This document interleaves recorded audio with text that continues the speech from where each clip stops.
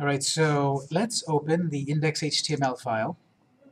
And what I've got in here, if we read the handout in detail, you'll see that some there's some items here that we need and some that we don't.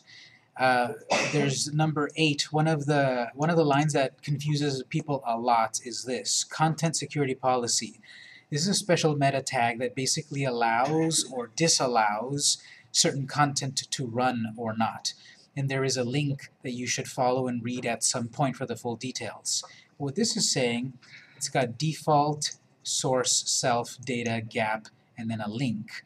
So this is allowing default source content, self-referential content, content with a with a protocol of data or gap or this specific Google address, gstatic.com. Uh, things that have unsafe evaluation, semicolon, style sheets. So this confusing line here is saying, what can we allow about CSS, which is style, what can we allow or disallow about JavaScript, which is going to be script source. And then in general, what sort of defaults do we have set up? At the moment, all of these defaults are fine. It says here media source, asterisk, which is everything. Allow all media, basically. Style source, allow style sheets that are inline. You shouldn't really have inline CSS or inline JavaScript, but here we're saying let's allow inline CSS and then any CSS that is in the uh, block, in the head block in this document itself. So this is a very useful but powerful and kind of confusing uh, line here because any custom JavaScript that we may write inside of the HTML file may not run because we never allowed it on line 8. So we'll leave it as is for the moment, but we will have to refine it later on when we connect to online resources. This is sort of like a whitelist, allowing or disallowing content. The other stuff, okay, charset UTF-8, great, format, detection, telephone, um, just trust me on that, read the documentation that I wrote. Tap highlight, no. We want our app, which is a web project, to behave like an app. So on a website, you can tap and hold to select text. You don't really do that on a real app. So here we're saying tap, highlight, no. Don't allow to tap and highlight text like a website it's going to break the illusion that this is an app, not, not a website. We'll see something like that also in the CSS. We've got a variation of the viewport. We've used this viewport before. It's slightly different. Um, I think it mentions one or two extra things than what we did. Uh, I think, did we have a maximum scale? Yeah? Uh, minimum scale. So we'll leave that as is. We've got a reference to index CSS. So we've been writing custom code in our own CSS file. Eventually, when we transfer over CBDB from last month to this project, well, we're going to need to copy and paste our CSS code into this one, or put a link to our other CSS file. Just keep in mind there's already a link to a CSS file. Title, which will never show up in the app the title tag basically gets ignored in the app because there's no title, there's no tab to display. It's not a website anymore, it's an app. So this can be anything because the user really won't see it. There's this div right here that we don't need at all. This is just setting ourselves up for the um, we're setting ourselves up for that is device ready, which we don't need that. Our device will be ready once we get past the splash screen. So I'm going to say we don't need this div here at all. Lines 18 to 24, we don't need it, just delete it. And we'll just write my app. Our app is called CBDB.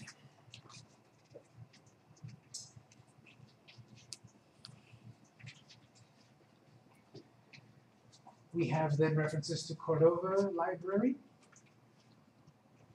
Leave that.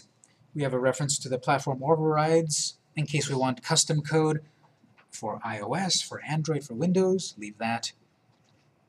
And then we've got index.js. All of the code we've been writing last month was in a file called myjs.js. So most likely what we'll do is just copy and paste it out of that other file into this file. So for our index.html, this is all we really need to do here. And I mentioned that here. I explain what it is line by line, and I mention those lines. Right here. Let's jump over to the CSS file. In uh, CSS folder, CSS.js, what I was about to say before the microphone crashed. Uh, that one thing that Visual Studio does that might be useful is that simply clicking once on a file is sort of like opening it. It opened it like this. When I double-clicked index.html, it opened it on the left. When I single-clicked index.css, it opened it on the right.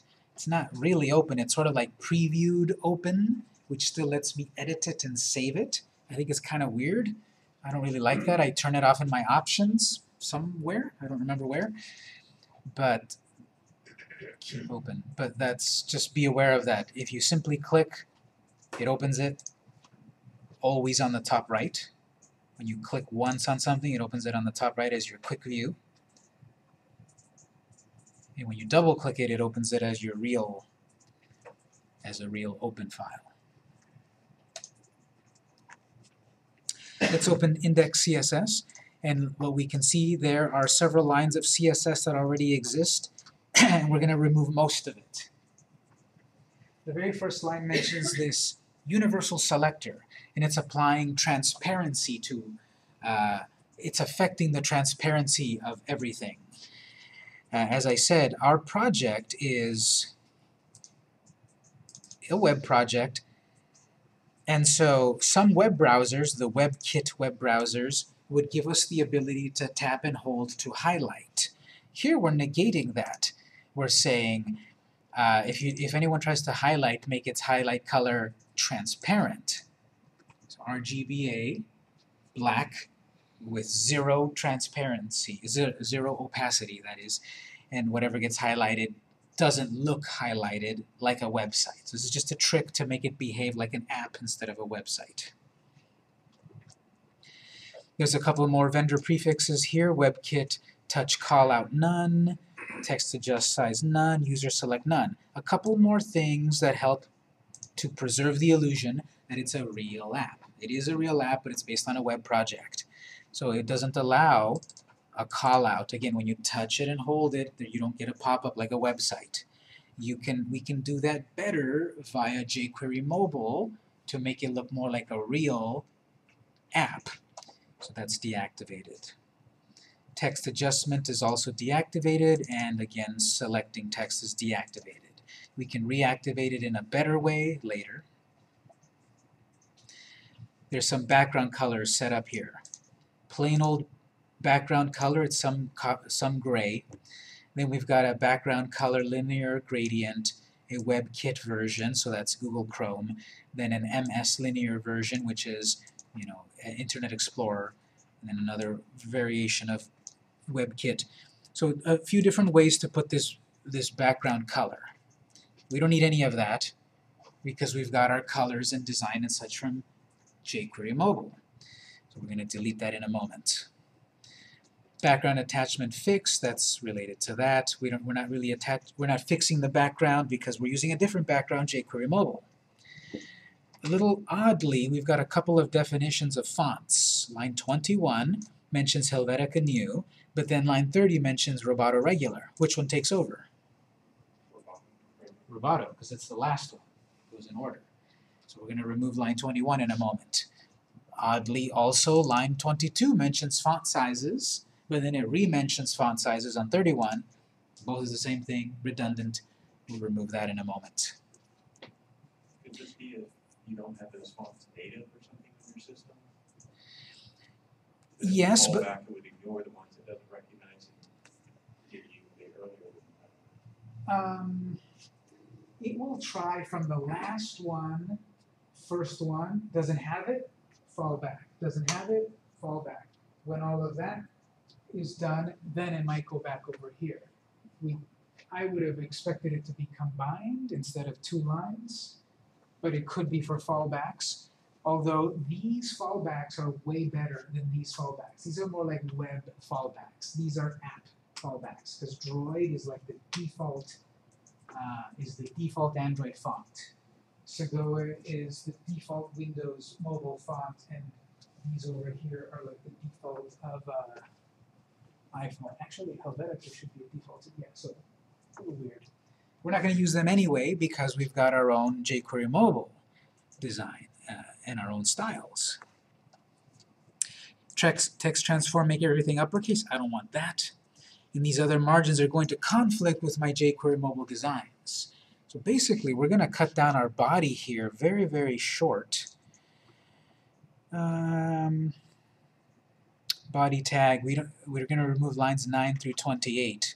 So we don't need that background color. We don't need it all the way down here. Okay, I guess I'm keeping the this plain old definitions. These at least basic built-in device fonts. Oh, there it is, Helvetica Geneva. Helvetica Neue. Yeah. So cut down everything between 9 and 28. And I would recommend, let's see, did I write it in here? I would recommend that this font, uh, based on uh, the your own particular project, I would recommend for you to figure out what you like as a size of a font via testing. And I would recommend instead of a pixel value to have some sort of um, proportional value such as 1em. This is a unit that grows and shrinks depending on the particular font. Uh, I don't really believe we've mentioned it before, so we can add a comment here. Font sizes in em units.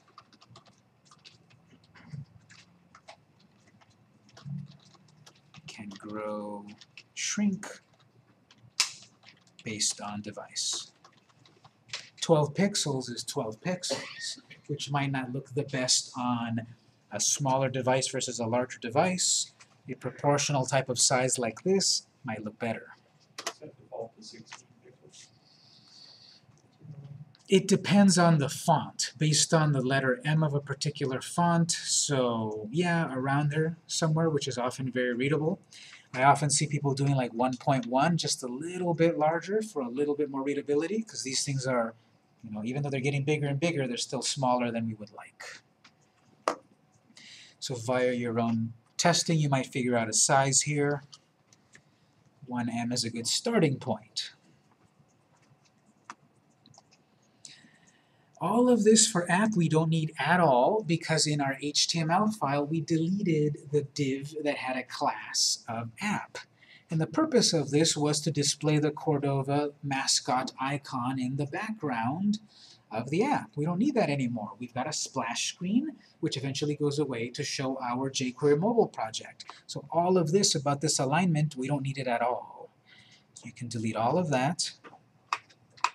So we're deleting it on instead of commenting it. If you wanted to get all of this back, if you don't close this file, you have a history that goes back hundreds of steps. So if you never close this file, you can undo 57 times to bring it back. What you could do also is, I do want that. Well, all of this came from the basic default template. So if I ended up closing this, and I wanted to get that stuff back, you could go through File New, Project, and get it all back, because that has the defaults again. At media screen and minimum aspect ratio 1 to 1 and minimum width 400. This is a media query. This is checking a variety of things. It's checking basically for portrait or landscape orientation. If it's not portrait, if it's not landscape, things will happen. And this is what's trying to check if you've, if you've gone into landscape orientation, because it's going to change the position of your graphic, which we deleted on the previous line. So we don't really even need this anymore. We've locked our orientation to portrait. This is superfluous. So I would recommend removing that as well. If your app would be, will be set to portrait only, you should remove this media query. Otherwise, use this block to set your styling for landscape. So within, you know, if you if you were going to keep it as portrait or landscape, the way I would use it is remove the .app class, because we don't have that anymore, and then write all your custom code here to affect your app when it goes landscape. We will not ever go landscape, so we don't need it.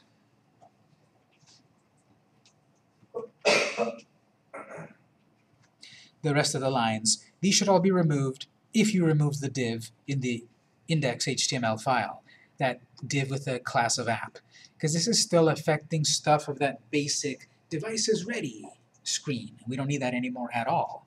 This is what was setting up the event, the event listening, the color, the fade, the, all of that. We completely removed it in the index file.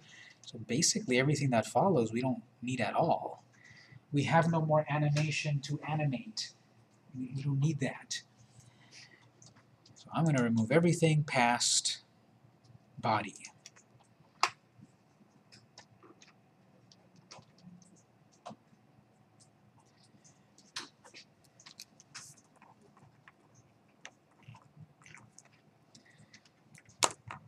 We have the universal selector, you can make a note there if you want.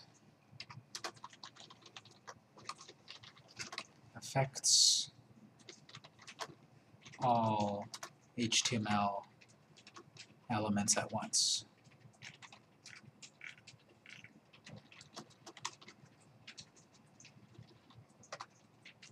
Removes the uh, highlight not removes, hides the highlight color from tap and hold.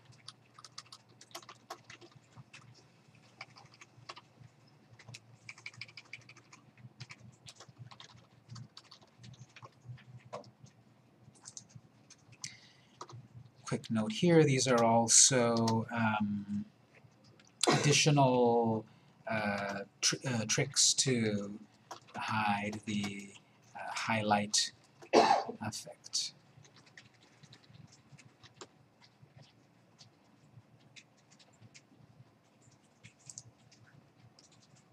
Basic background color makes sense, and then lastly,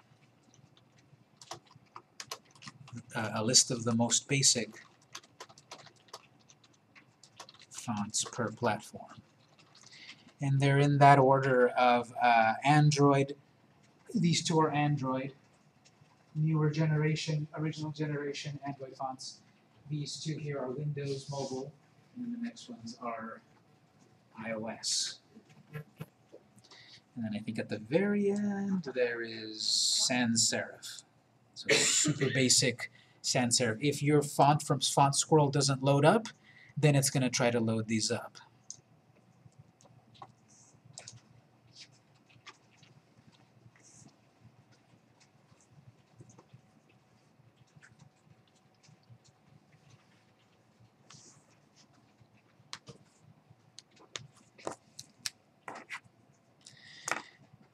Right, uh, here this was all about the CSS file images folder.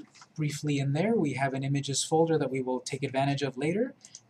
There's our Cordova mascot icon. We can keep it or not. Probably not. We're not really going to use it. We're using our own graphics. We've already deleted the CSS code that references it, so you might as well delete it. Just select it and press delete on the keyboard, or right-click and delete. Delete it permanently. If you wanted to get it back, you can create a brand new project and get it again if you want. But we're not going to really use it, so might as well delete it.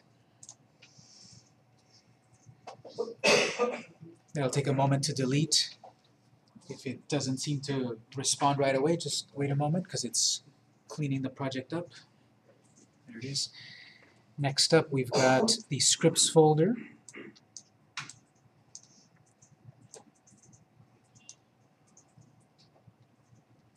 For code that will apply to all platforms, because in theory we could target our project for not only Android apps but also iPhone, not only Android devices but also iPhone devices and Windows devices and so forth. If we want code that is universal to everything, we put it in index.js. If we want code that will only apply to a particular platform, we use platform override, and then you go read the documentation how platform merges works. In the index.js, we have all of these lines. Let's go look at our index.js file and remove stuff that we don't need and so forth. index.js. I would leave that comment there. That's another one that I would recommend you read at some point. There's a little note here also that in your console you can uh, you can run the reload method to reload it dynamically that way.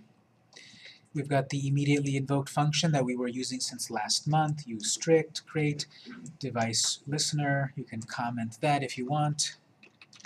Waits for the device ready um, event, then runs, uh, waits for the device ready event from Cordova, basically, Cordova.js, then runs on device ready function. There's on device ready function.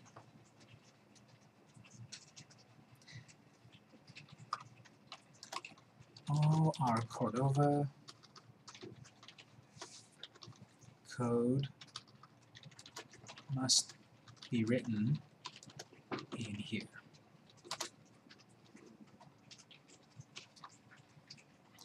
Anywhere in the on-device ready is where you should write that Cordova code. We already have one line here, a couple lines. One Cordova code and one JavaScript. So these, these over here are self-explanatory. These are waiting for the app to be paused or resumed, then run those functions, which are down at the bottom.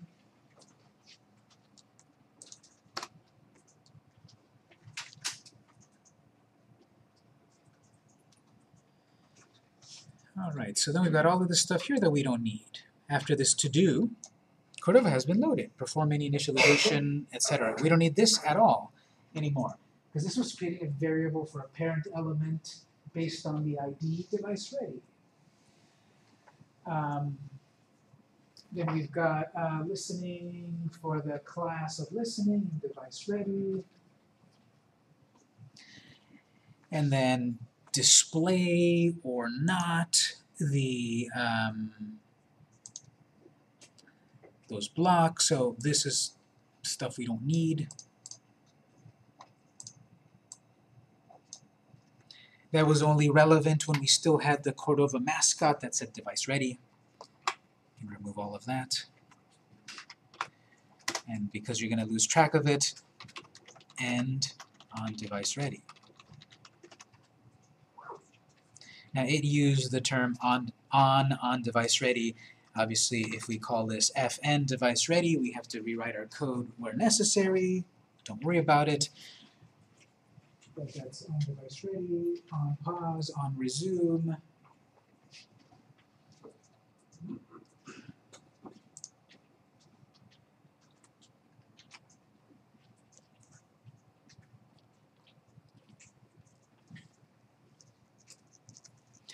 Our project, we want to save all and run it. And then our project will look very sad because we removed all of that special styling and the logo and all of that. But we're doing that to then be able to put our project into it and work with it from last month. But all of this that we leave, I would say that's the most minimal code that we need. Then we just need to start integrating our code into the project. And we'll do that in a moment. And we run this.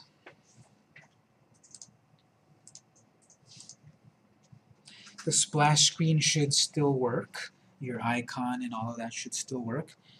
It's loading up. CBDB. Two seconds. Loads up. Black text, gray background. That's all that I left in my CSS. That's what loaded up.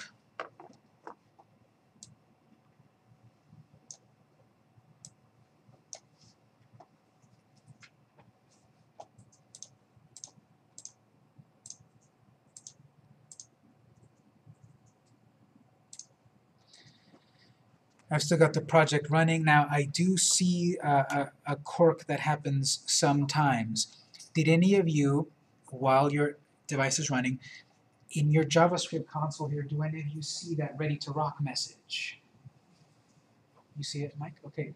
Some people see it and some people don't. I'm not sure why. It's not showing up on mine, but in this JavaScript console, it's got some output stuff. There's a fail there. I'll mention that in a moment. But this JavaScript console in Visual Studio is where we're going to be looking to see all of that console output. Uh, sometimes it loads, sometimes it doesn't. I sometimes see that the first JavaScript console log doesn't load until a second time. It's weird, I haven't kind of been able to isolate the issue, but it works for a couple of people. So it should say, It should, because what our index.js is saying is, as soon as our, as soon as, uh, as soon as we capture uh, device ready, well, we know that the splash screen was hidden. It should have gone to console log ready to rock. It should have said this is our console. Some people saw it, some people didn't. So if you don't see it, it's okay. I think we'll be fine. I didn't see mine, but I think we're fine. If you did see it, even better. So this screen here, let's get acclimated a little bit with this console. You can pull it up here. You can filter it. I've got one big scary looking error, and then there's no warnings, and then there's some info items. There is this one clear on navigate and clear it out now. Well, the uh, the big uh, scary error message is this failed to load resource. The server responded with the status of 404 not found. It can't find something, favicon, which doesn't matter. It's not a website. Favicon is on a website to display up in the tab. Fav, favicon, favicon.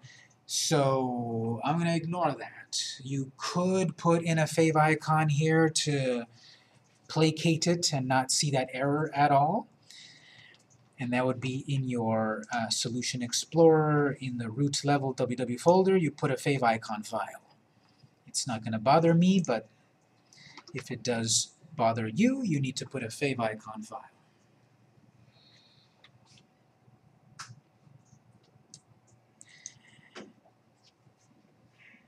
Other output that we may see that might be value to us, be value of us, for us.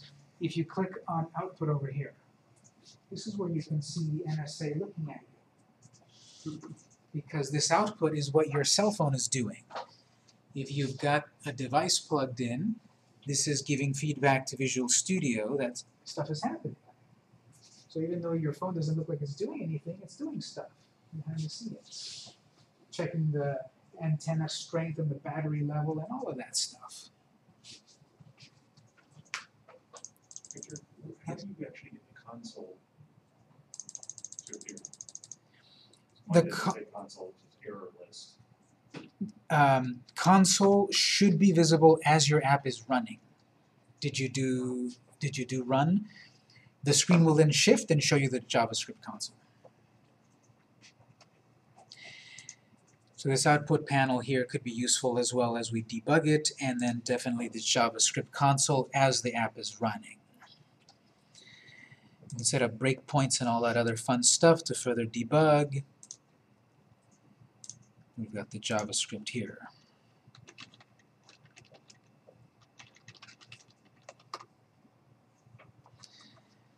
This is a console like Google Chrome.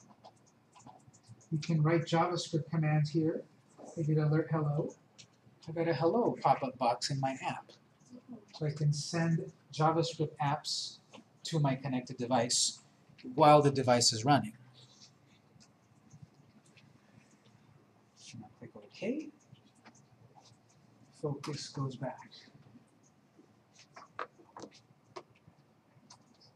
So it doesn't look like it, but that's a little that's a little prompt right there. So for example, I can type prompt. Enter your name.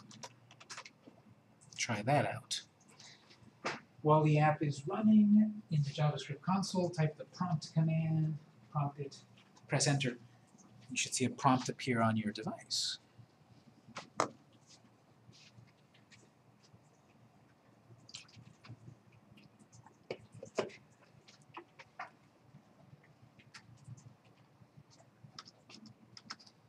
It'd be nice, it'd be, it'd be the icing on the cake if, if it would pop up to suggest to you what, what valid JavaScript you can send.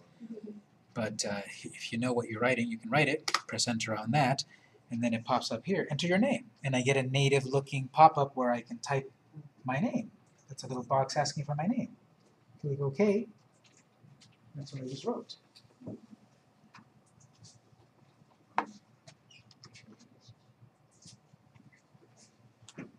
Almost pronounceable. So you can send commands to your phone. JavaScript commands.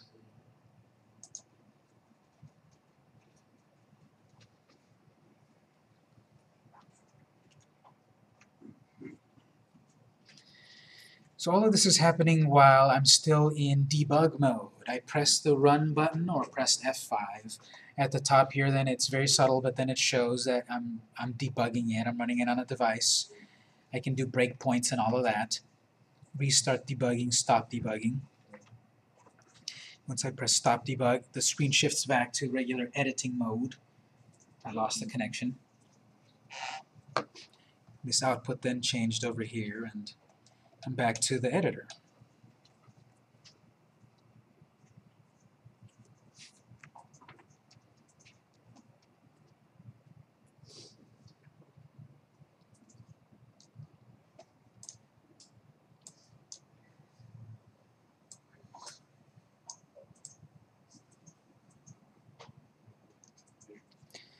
So we have a web project that Visual Studio is able to convert to the different platforms. Cordova is behind the scenes. I mention here again that the documentation, cordova.apache.org, has all the answers. And so we will be debugging an Android app on a device or a simulator. Another reason to use the simulator is, well, I have this device, this, this dinky little device to work with, and how does it look like on a tablet? I'm not going to go out and buy a tablet, I don't own a tablet. Well, I can use a simulator that is sort of like the tablet form factor, and I can further install more powerful uh, emulators. So one good thing about using these simulators and uh, emulators is I can do it on a device that I don't actually own to check the form factor, dimensions, and all of that. Eventually we will switch this from debug to release. Uh, set up a developer's key and all of that, run it as a developer, and send it for release, and then we're going to publish it to a real app store, definitely in part 3 of the class. So this is the big idea, the big shift now in the class. Based on what we learned last time, we'll integrate it into this project right after the break. Then we'll start to work on it, add more to it. We're going to take what we did last month and make it as a real app. It'll be a real installable app that you'll see in your real device and then start adding more stuff to it and finish it up and all of that and create a version 2 and make it send tweets and all that cool stuff and take photos and all that stuff that a real app can do. So it's 8.35, let's take a break until 8.45. When we come back we'll start to uh, integrate last month's app with last month's project with this month's project.